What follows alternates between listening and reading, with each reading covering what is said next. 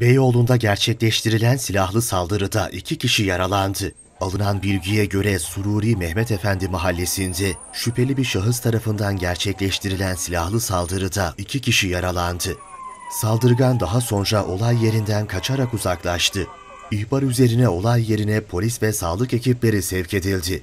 Sağlık ekiplerinin ilk müdahalesinin ardından bacaklarından yaralanan HA ile NÇ'yi çevredeki hastanelere kaldırdı. Yaralıların hayati tehlikesinin bulunmadığı öğrenildi. Olay yerinde güvenlik şeridi çekerek bir süre inceleme yapan polis ekipleri kaçan saldırganın yakalanması için çalışma başlattı.